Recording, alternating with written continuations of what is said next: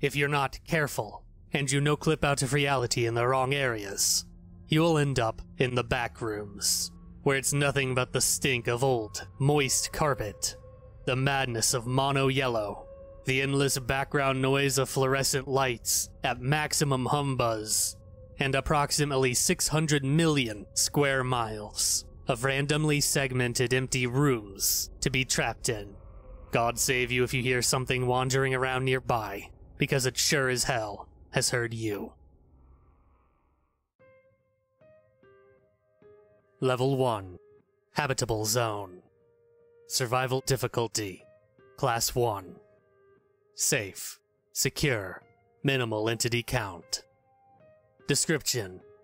Level 1 is a large, sprawling warehouse that features concrete floors and walls, exposed rebar, and a low hanging fog with no discernible source. The fog often coalesces into condensation, forming puddles on the floor in inconsistent areas.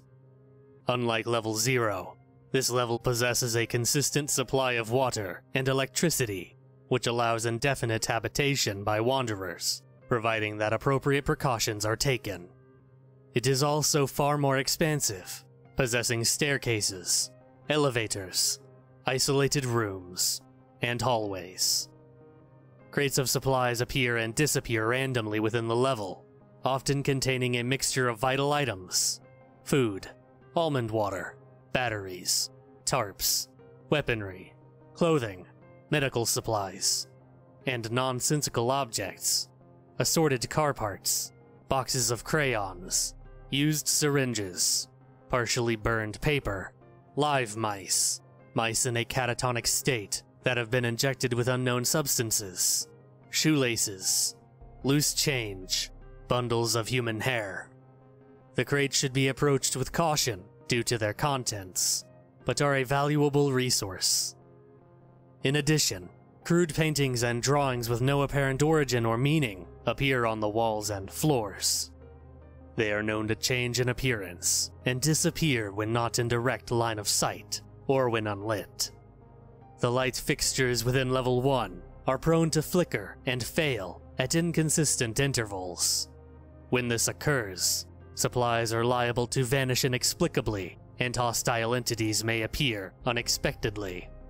These entities rarely attack in groups and tend to avoid light and large gatherings of people.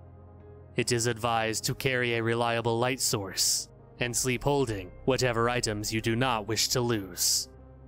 Level 1 is home to the hub, bases, outposts, and communities. MEG, Major Explorer Group, Base Alpha. This is the first main base of the MEG. About half of the group's teams live here, mainly housing explorers and supply outposts shared with the BNTG. The base is close to one of the entrances of Level 1, heavily guarded against threats such as entity attacks. BNTG Traders Keep. Traders Keep is a large, city like complex.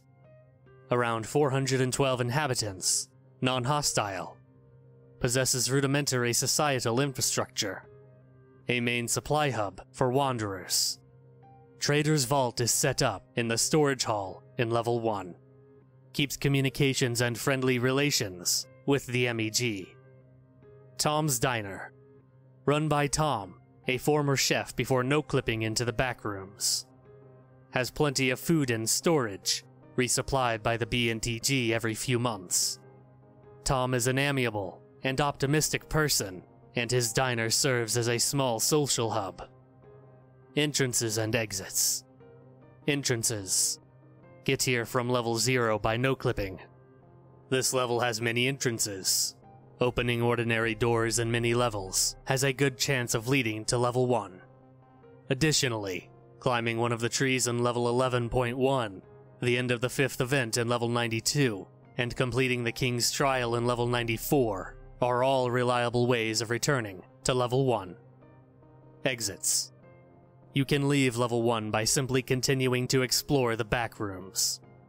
Wandering down any extended hallway often leads to level 2.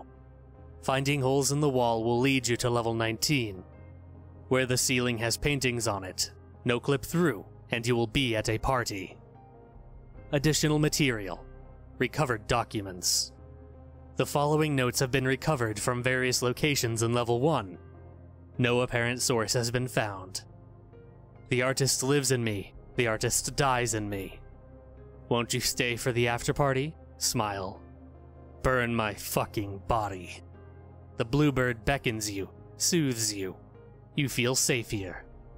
Black Queen to H5, and that's checkmate. Watch the clock. The final prophecy draws near.